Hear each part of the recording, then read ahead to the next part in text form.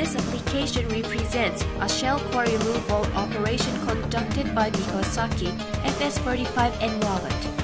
Shell core removal is a tough job for workers to perform due to the physical demands and harsh environment.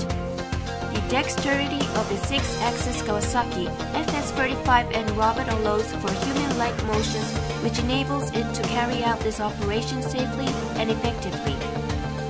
The robot relieves workers of the stress from the constant vibration, dust, high temperature, and adverse agent typically involved with a shell core removal operation.